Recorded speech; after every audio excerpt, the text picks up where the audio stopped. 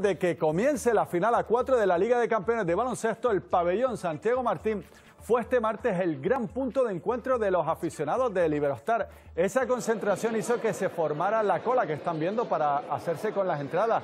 Recuerden que está a la venta el paque para ver las semifinales, el partido entre el tercer y el cuarto puesto y lógicamente la gran final. Los precios oscilan entre los 60 y los 100 euros. Mientras tanto, Liberostar eh, prosigue con los entrenamientos este fin de semana no juegan, pero la próxima lo harán el miércoles día 19 de abril, enfrentándose al Unicaja.